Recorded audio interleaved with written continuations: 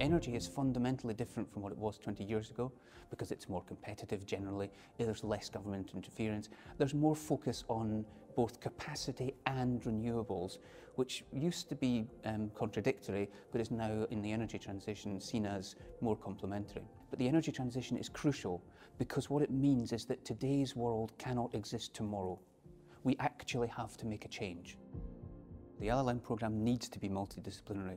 It's not that if you're an energy lawyer, all you do is understand energy law.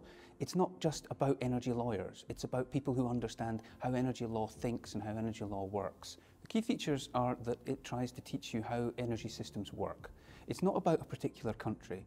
It's about understanding that energy really works more or less the same way everywhere in the world. I think there are two sides of uh, mm, this program there is a regulatory side. As a lawyer, I, I am I am I have got familiar with that. How the electricity system, how it works, and how law comes in aid to the system.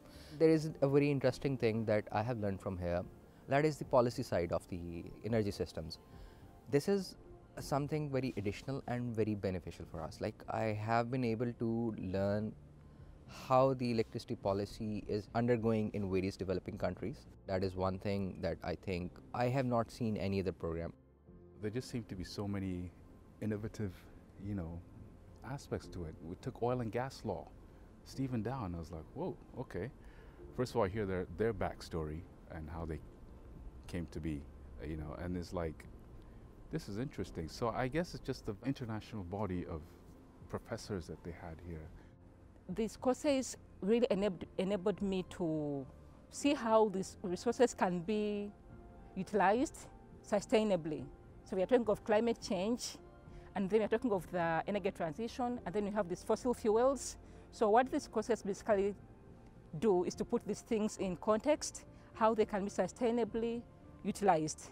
What we do is we give you the tools so that you can then look at the situation, assess it, and find your own answer. We are not about um, trying to enforce a particular solution. That's not what we do at all. What we do is we simply say, we will teach you methodology. We will teach you how linkages work. What actually is linked between the fuel side, the electricity side, the market side? What is connected in the gas world? How even oil fits in? Because remember, even in an energy transition, oil is still going to be important going forward. But as we move through an energy transition, the story becomes more and more of low carbon.